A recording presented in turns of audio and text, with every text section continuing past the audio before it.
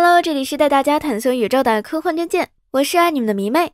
今天要为大家介绍一部蒂姆·波顿制作的《暗黑哥特》迪士尼童话《科学怪狗》，讲述了自闭男孩在失去了爱犬后，不顾阻挠将他复活的故事。一如往常的天马行空，这仍然是一个很波顿式温暖的电影。维克多是个性格内向的小男孩，他没有什么朋友，整日都在家捣鼓着自己的事情。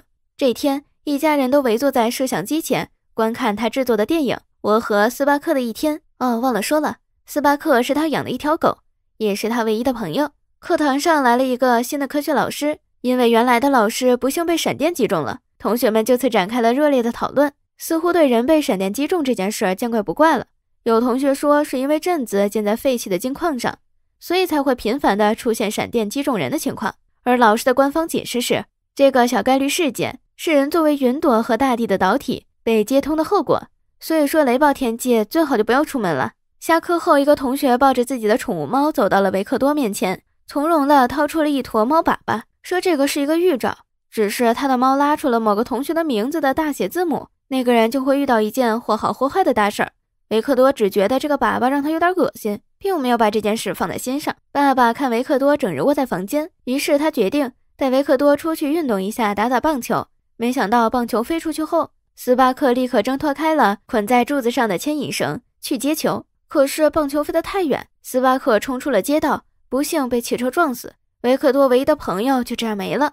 这对一个自闭男孩来说，无疑是巨大的打击。现在他只能看着从前的影片来怀念斯巴克。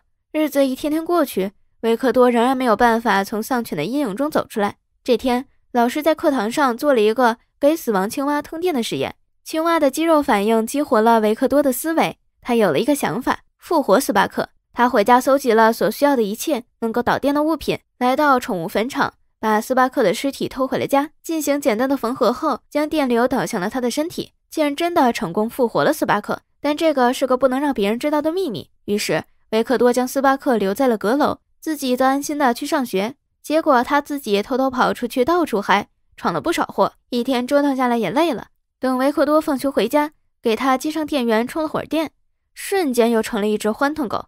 没想到的是，在他出去闯祸的时候，刚好被维克多的一个同学看见。同学威胁维克多，教自己做这个实验，否则就揭发他这个秘密。于是他买了一条死鱼进行实验，果然成功复活了他。但是这次鱼的基因变成了一条隐形鱼。维克多让同学不要到处乱说，偏偏同学又是个大嘴巴，不少人都知道了。他有一条隐形鱼的事情，他还说要将这个鱼拿去科技节参赛，肯定能拿第一。有些人眼红看不过去，就拿自己的生命做实验，结果摔成了重伤。除了维克多父母以外的所有人都觉得是科学老师的锅，于是学校把他开除了。但是科技节仍然会照常举行。大嘴巴同学将维克多复活狗狗的秘密搞得人尽皆知，所有的同学都去坟场找来了别人宠物的尸体，准备给他们电击复活。但他们忘了实验的变量和必备要素——对宠物的爱。斯巴克因为有维克多的爱，才能够完美的复活。这也是为什么那条死鱼基因突变的原因。缺乏实验者对他的爱。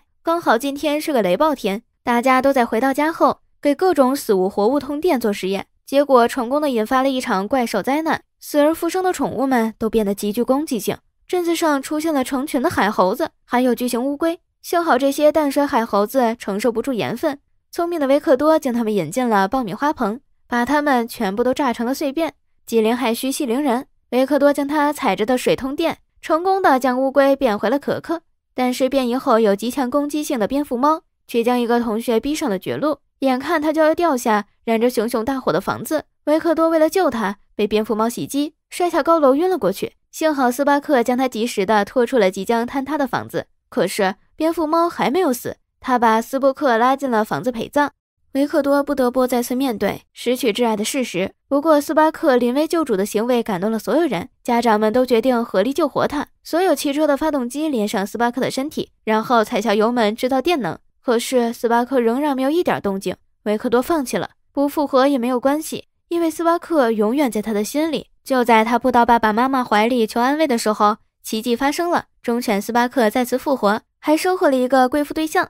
好了，今天的电影就介绍到这里了。如果你点了关注、评论的话，我就陪你一起养只可爱的小动物哦。欢迎大家在评论里留下想看的片名，让迷妹带你看尽各种精彩科幻电影。下期见了。